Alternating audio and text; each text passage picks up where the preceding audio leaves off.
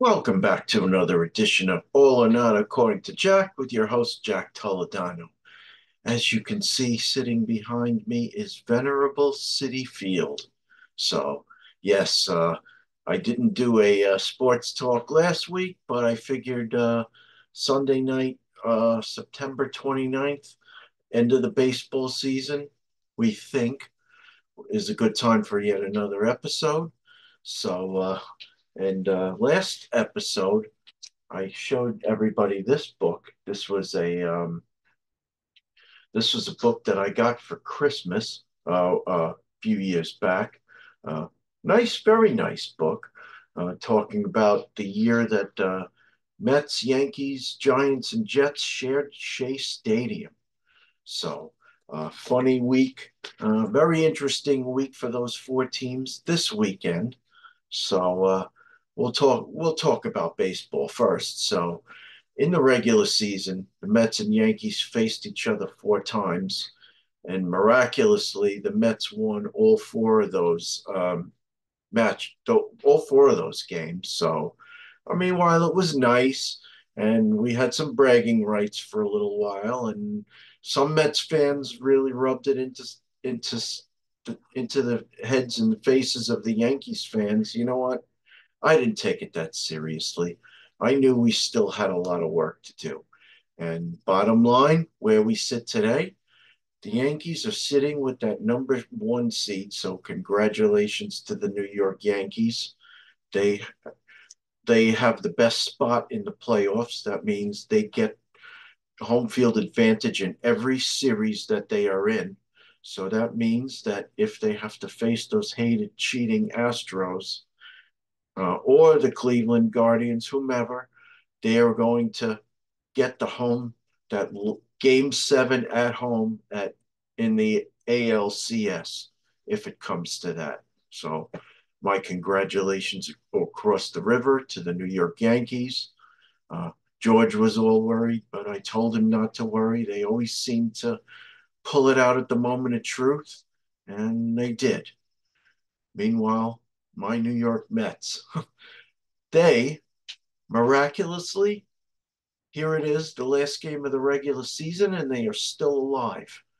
They um they actually got rained out. They and the Atlanta Braves last week got rained out two games because of Hurricane Helene, I guess it was called, that traveled up the uh, up that corridor and into Atlanta and flooded things out. Uh, my son's coworkers mentioned about flooding in Buckhead in, in the Atlanta area. So all my best wishes to those people that are dealing with that. Uh, hope everything works out with your homes. Uh, meanwhile, Mets and Atlanta Braves, I'm just going to, while I talk to you, let's go to the standings both of them sit at 88 wins and 72 losses. Uh, I thought it was looking bad for the Mets. They usually choke come this time of the year, but they got a big win to finally, in six tries, they finally beat the Milwaukee Brewers today.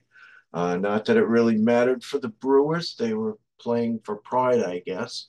But uh, Mets did shut them out today, five to nothing behind the Great pitching of David Peterson. Way to go, David. Uh, awesome job. One hitter through seven innings. Good job, man. So we still have something to hope for. So tomorrow, uh, and the season is not over yet for the Mets and the Braves. They have to play a doubleheader, a single admission doubleheader in Atlanta. Uh, if both teams, if they split the doubleheader, both teams are in. I am not sure of the seeding. Let's see if it says playoff bracket. Uh, still uncertain. The Mets travel back to Atlanta. If the twin, the Mets and Braves advance, uh, Arizona can only be the number six seed if it reaches the postseason. If the Braves win either game of the doubleheader, they would play a division series at San Diego. Uh, that meaning that the Mets would have to go back to um, Milwaukee. Yes, the Mets would have to go back to Milwaukee for another three game series.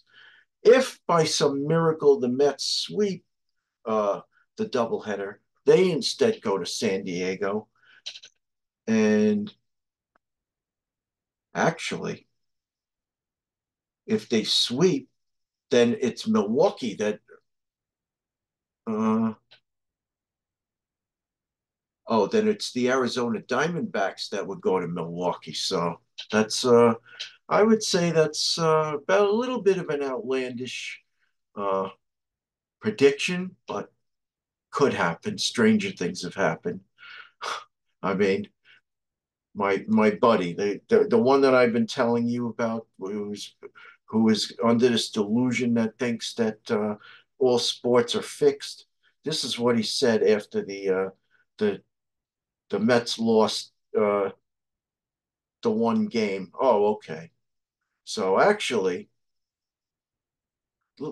let's let's re- okay. We'll talk about football after. So this is what he said after the Mets lost that one game last Monday night in, in Atlanta. Your Braves can't, your Mets can't beat the Braves. It's rigged. You're like a disease, is what I said. So maybe they forgot to get on a flight to Atlanta. As for me, you know what? The Mets, as the, when the season began, they lost five in a row and through the middle of May they were playing like crap. I had no expectations. So when they put the put the uh, their foot to the gas pedal in the middle of June, they started playing better. By July, I started to have hope again. So uh, you know, if for no other reason, they gave us some hope this year. Uh, we weren't supposed to compete this soon. I also had no expectations, not knowing this manager, Carlos Mendoza and the job he would do. But hey, he got us 88 wins this year. It's better than I would have hoped for. So, you know what? Whatever they do now, I think is gravy. I would love to see them advance into the playoffs. I'd love to see them get to the ALDS, but you know what? I'm not going to get too upset if it doesn't happen. There you have it. Uh, hopefully, I have a happy recap for you tomorrow night, but we'll see on to football. Let's let's switch gears to football.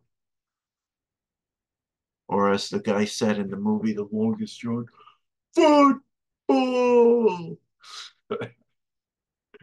okay, so let's let's rewind one week ago. So uh three of us went upstate, Susan, Jason, and myself. And fortunately, the uh the Giants were on the Albany feed, so I got to watch the game against uh, Giants against the Cleveland Browns in Cleveland. Uh, the Giants, it started off very badly. They freaking fumbled the kickoff. Uh, Browns recovered. First play from scrimmage, threw a touchdown pass. They're up 7 nothing. Miraculously, the Giants came back, made it 21 to 7 at the half didn't do shit in the second half, but their defense was held them off, allowed them one touchdown with a two point conversion. Giants ended up winning 21 to 15. So there was a little hope. Brings us to Thursday night. The Giants actually won the, the clock battle with the Dallas Cowboys. They, I think they had their time of possession was actually 10 minutes more than the Cowboys. But uh, the Giants, in losing to the Commanders a few weeks ago, um, where they Commanders couldn't score a touchdown, instead kicked seven field goals, beat the Giants 21 to 18, where the Giants couldn't kick for shit because Graham Gano got hurt and there was no backup plan. So, you know, shame on you, Brian Daboll. You knew the guy had a sore hamstring and what you, you didn't bring another kicker in, uh, carry another kicker into the game.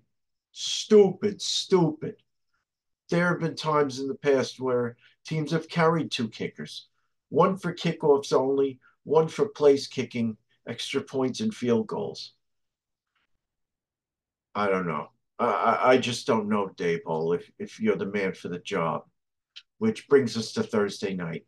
You know, people want so the Giants lost to the Cowboys 20 to 15. It was the Giants this time who couldn't put the ball in the end zone. They scored five field goals with their backup kicker that he finally got it into that thick skull of his to to bring another kicker. But Of course, Gano's now officially injured. You know, everybody has an opinion. Everybody's an armchair quarterback. Oh, it was uh, Daniel Jones's fault because he can't he can't throw a deep ball. It's Brian Daboll's fault because Daniel Jones uh, only got sacked once in the game and, and it was his crappy play calling. You, you know what? I think uh, and then and then and then there's this other guy, another genius, uh, Sunday afternoon uh, quarterback who uh, who decided to to tell it me and everybody else, oh, we have great re- receivers, extremely talented receivers, and he couldn't get the DJ couldn't get the ball to them. Well, if they're so great, why weren't they in the Pro Bowl last year? You, tell me, where was Wan'Dale Robinson and uh, and Darius Slayton and, and Jalin Hyatt against uh, the Minnesota Vikings week one? The guys couldn't get open. Three excellent receivers. Where the fuck were they? That you lost. Uh, what was it? Uh, Twenty-eight to, to six was that was the final. You know, granted, Wan'Dale Robinson a little bit better, but he dropped a couple. Uh, I think Slayton had a drop. Uh, Jalin, no, not Jalin Hyatt. Um, Malik Nabers had that drop again at the end of the game. So that's now two drops at the end of the game at crunch time that you dropped, which, you know what? Granted, I can forgive you. But you know what? The blame has to go all the way around. You all share equally with the blame. I mean, I wanted to blame their running game, but you know what? You can't really blame Singletary because if they're going to stack nine guys in the box, you have to be able to beat them with the pass, and you didn't get it done, Daniel Jones. You know that's they don't call you Daniel Danny Dimes for for nothing. Ten yard pass, twenty yard pass. You know what? You can't just dink it down the field. They're eventually going to stop you guys. You, you're to have to be able to prove that you have deep threats. Uh, you can't blame Jalin Hyatt if you only put him in a few plays a game and, and you only throw it over the top deep. You know, the chances of catching those are what, five, 10%? You know, for, for a really good quarterback, chances get better that it that you're going to connect once in a while. And Giants of the past have connect. They, you know, uh, they've connected with uh, Monty Toomer. Uh, who's the other guy? I can't think of his name. Uh, uh, shit. A few years later, uh, you know, scored a touchdown against the Atlanta Falcons in the playoffs. I, I can't think of his name. Uh, but in any event, you know, you, you can't leave it up to a last minute downfield throw. Uh, granted, a couple plays last year, they got a couple of deep balls to Darius Slayton, but you know what? Until you make those completions, they they're going to keep stacking the box. They're going to keep doing that. Uh, somebody had a very good point where they said that Daniel Jones underthrew Malik Nabers on that one play. I don't know if anybody was watching that one play where the guys, the Cowboy defender got his uh, his uh, ankles twisted.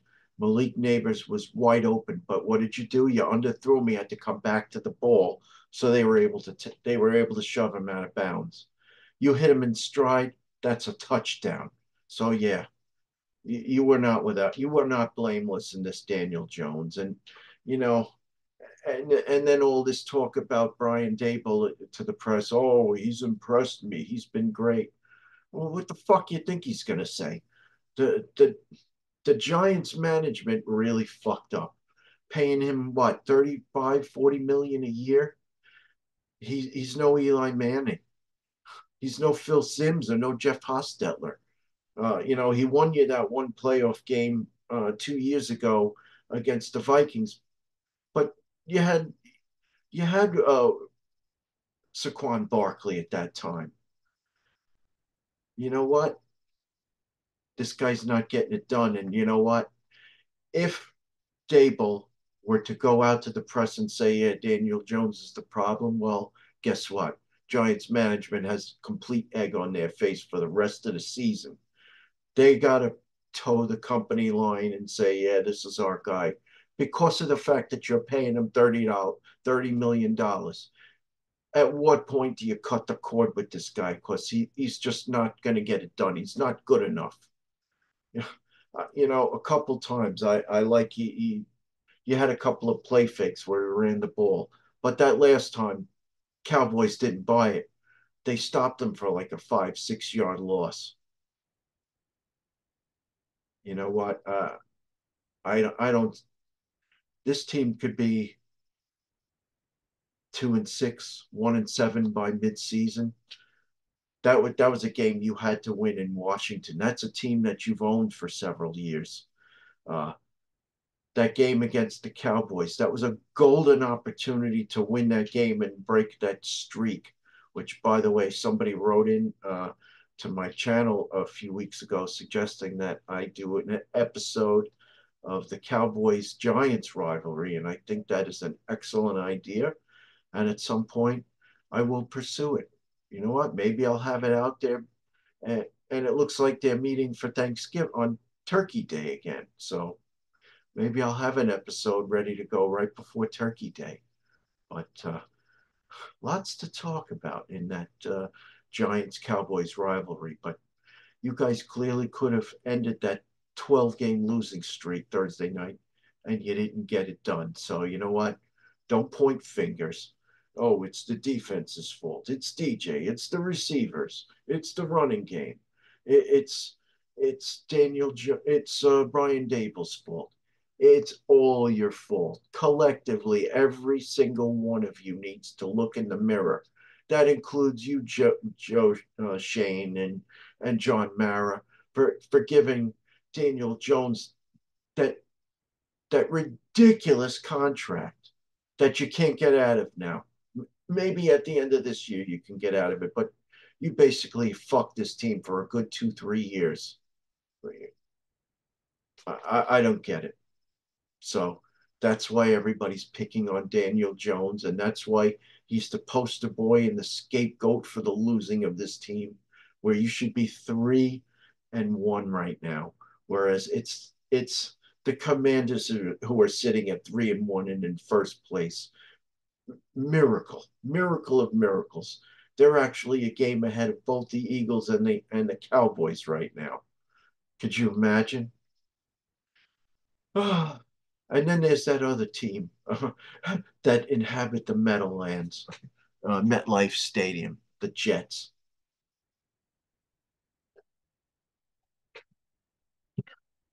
could have been could have sat at three and one right now. That was a game you needed to win today, but you, you didn't get it done. Three field goals for the Jets. They lose 10 to 9 to the Denver Broncos, who apparently the Jets weren't really the only team who have overlooked the Broncos.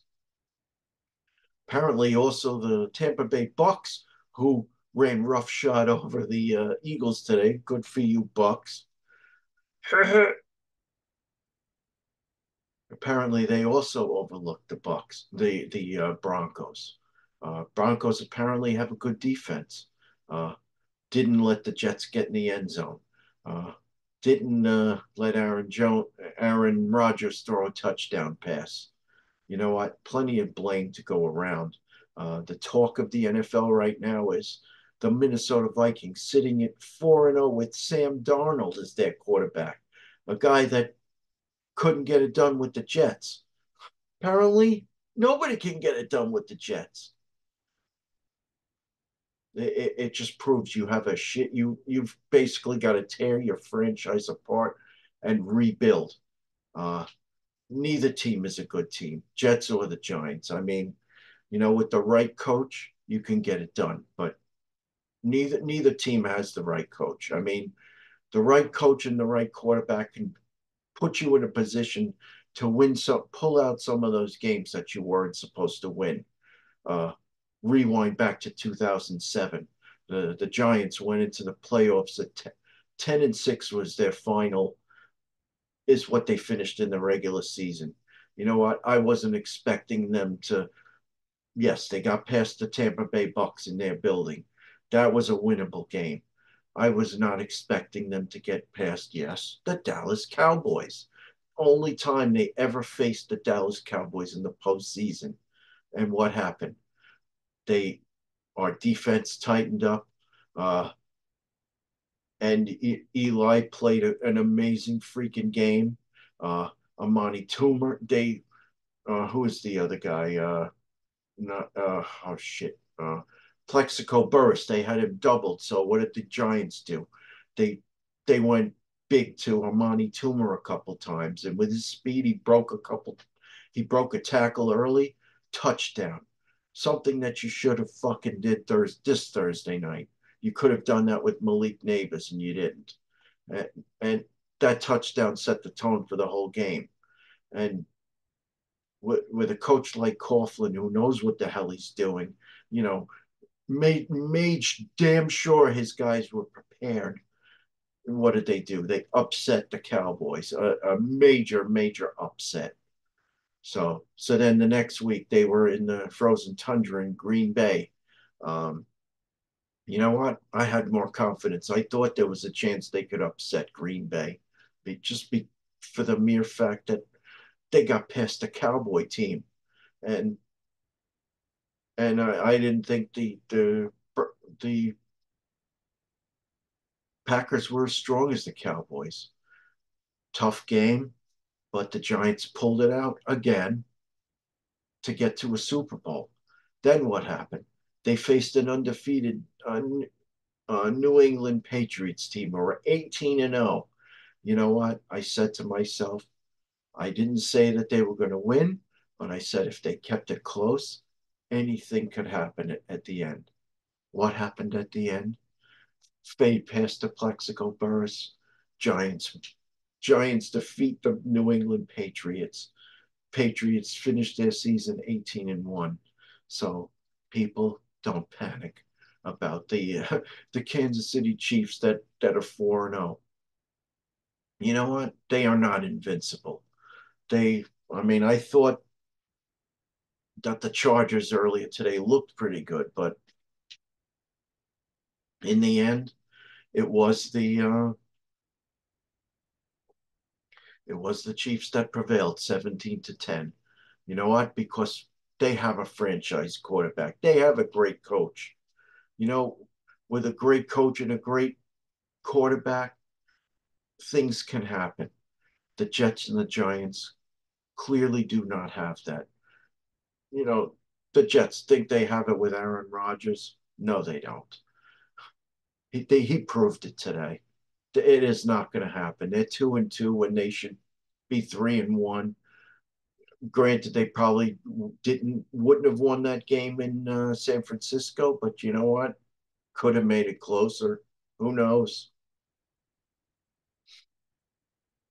What can I tell you?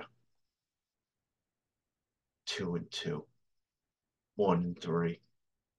Welcome to the NFL. By the way, uh, this is unless he comes back to me with with any more bullshit talk about uh, uh, about the game being fixed. I'm not. I don't think I'm going to really talk about it anymore. And you, you want to know something? If he was the only person who did that, that would be one thing. Uh, friend of mine, Drew SOT, uh, has his own channel, has his own, uh, you know, he he passed a comment uh, after the uh, Eagles lost to the uh, Chiefs about you know a bunch of people passed a comment about how oh the game is rigged because the Chiefs beat the Eagles. No, it's not. The Eagles had their chances. I watched that freaking game and I said as much. And and what happened? Somebody attacked me. Somebody questioned my cred my football credibility. Uh, you know, my good friend Pete Pardo has uh, re- really good uh, cred when it comes to physical media and albums and bands and stuff like that. I feel like I have that credibility when it comes to football. So don't try to tell me otherwise. That that's freaking BS. Learn to, you know, and that's that's the last point that I want to make. Uh, these goddamn phones and, and social media. Ever since social media happened, it, it it just feels like people now make excuses for for when their team doesn't win. Uh, you know what? You can't do that. I'm not making excuses. I don't think that the game was fixed. Uh, the the Cowboys and the Giants. Uh, I mean, my friend George Lamy uh, made a very poignant uh, thought the other day, uh, and good for you, good on you, George. Um, let's go back to his what he said.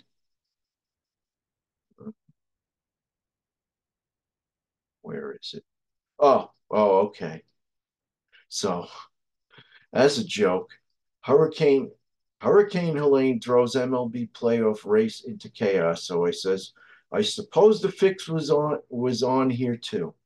So George posted, if the fix was on in baseball, they sure as shit wouldn't have set out to make a Texas versus Arizona World Series last year. That didn't draw flies. Good on you, George. So, of course, my genius friend has to talk about the Black Sox scandal, that which happened over a fucking hundred years ago. Why would you bring that up? Uh, oh, and let me guess, the Kansas City Chiefs are so great. They're that great that they keep winning and winning and winning the, like the Patriots. They were great too. Well, they weren't so great. My Giants beat them at the moment of truth.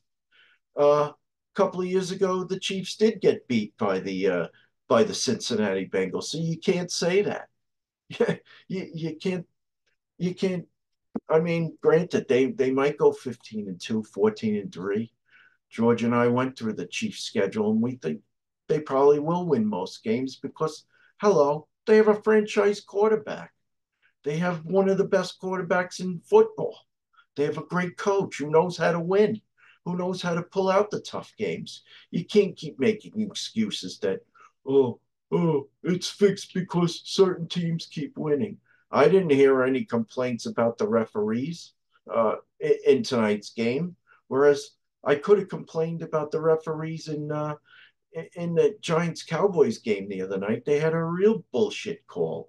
Um, their tight end Daniel Bellinger throw uh, he's running upfield and the guy's grabbing his fucking face mask and they called it on Bellinger, 15 yards. So, but but did I say that the game was fixed? No. The Giants had other opportunities. They held the ball 10 minutes longer and they couldn't put it in the end zone. So, no, the game is not fixed. Uh, like I said, this is the last time I want to discuss it. I hope I don't have to embarrass you further talking about it. Uh, you know what? The people that want to say that uh, the referees should start wearing red and white striped jerseys because they're helping the, the Chiefs, well, shame on you. Tell your team to draft better tell your team to get a better coach. You know what? Make your guys practice harder, just like the Giants. You, you don't want to see me as their coach during prep week. I would have Daniel Jones throwing that goddamn ball down the field till his arm falls off until he starts hitting people the way he's supposed to. Otherwise, sit your ass on the bench. So tired of this. Yeah, and the last thing is I, I don't understand why these people, masochists I call them, keep spending money on these PSLs and, and these season tickets to go to the game, only to to to boo their boo their team because you feel like they're not giving you your money's worth. Well, guess what? At least one friend of mine did did sell his, his season tickets, did give up his PSLs because he and his son were unhappy with the fact that they were kneeling during the national anthem. You know what? I applaud you. If he, if enough is enough, then walk away. That's what I would tell this friend. If you if you think football is so fixed, just walk away. I was this close to walking away from the Mets this year, and I did for a couple weeks. And then guess what? Francisco Lindor figured out how to hit again. Uh, Carlos Mendoza did something genius. He put him at the top of the order and, and his bat caught on fire. His glove was always on fire. And then people behind him started hitting. Uh, he made the decision to, to send that uh, Brett Baty down to the minors and keep uh, Mark Vientos at third base. Genius decision. Genius decision. Guy hit you 24 home runs some in the clutch. Uh, good hitter. Uh, Jose Iglesias, another good hitter. Uh, you're stuck with Francisco Alvarez. He's shown flashes of brilliance. I think when he's healthy next year, he's only going to get better. Uh, I got to tell you,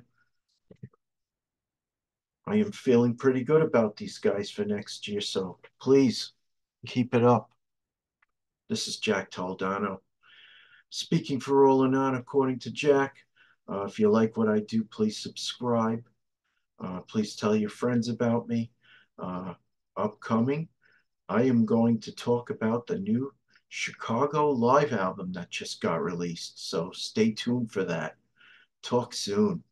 Bye.